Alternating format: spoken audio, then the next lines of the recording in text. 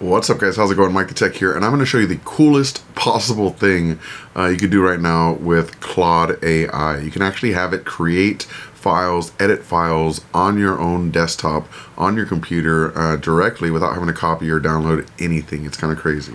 Now before we get started, I want to give a huge shout out to Smart Devil. They are the sponsors of this video today.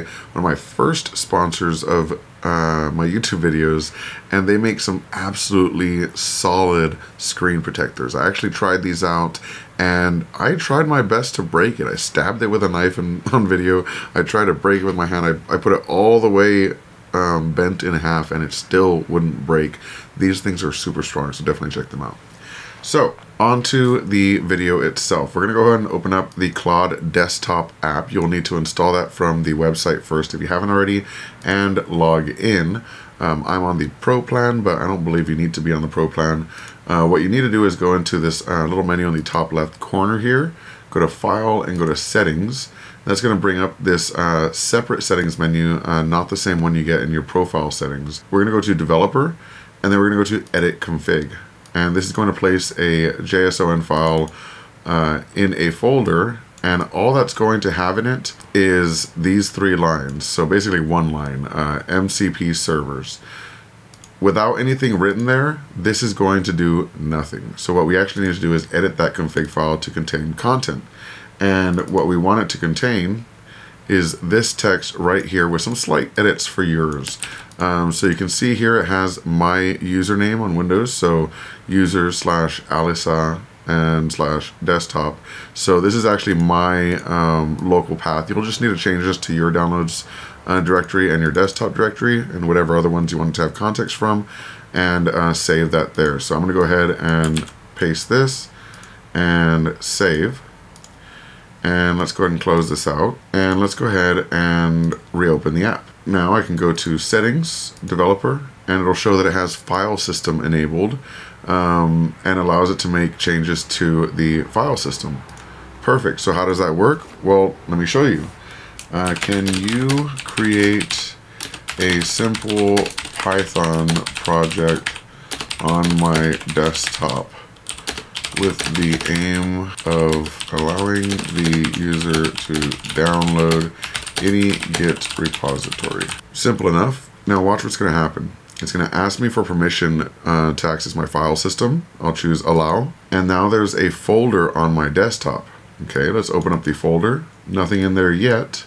It's still designing the uh, scripts for it. We'll allow it again. This time it's writing files. And you can see there's a py file there. Now it's creating a setup file and now it's creating a README. Oh, and a GUI, very nice. And now there's a launcher, and now it's checking the project to make sure everything's in place and explaining the components. So I'm pretty sure I already have most requirements of Python installed. So let's go ahead and open this in terminal and see what it looks like. Yep, it actually immediately uh, shows up as a simple to use GUI where you can enter a repository URL and a target directory. Cool. So not only can it create files, it can edit files uh, with a context. So let me go ahead and start a new chat. That way it gets rid of all the memory. And say, check out the git, let me actually get the name of the folder here. Git downloader folder on my desktop. It contains a simple to download GitHub repositories. Can you improve the app by adding a theme switcher between dark and light mode. So now what I'm testing is giving it a folder that I can access with existing code and seeing if I can update it, which hint, it can. Let's go ahead and hit uh, send and we'll allow it. It found the directory.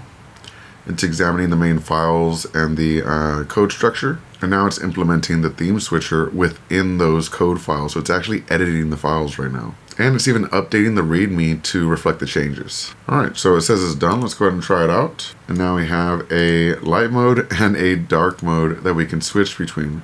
Um, we can continue improving this app as much as we want. And you can even have it uh, create nested uh, subdirectories. So it's not just going to put everything into one folder. Um, it can actually organize it into subdirectories and keep everything really clean. So if you have existing uh, GitHub project files or any projects, it can actually uh, maintain that same folder structure. We can see here that it's now um, making the app more modular by creating folders and hierarchy based on what types of scripts are uh, included. So you can just imagine how useful this technology is. Being able to actually do things on your computer is really, really cool. Um, but yeah, let me know if you have any questions in the comment section below. And as always, thank you so much for watching. Peace. He keeps it fresh, always brings something new.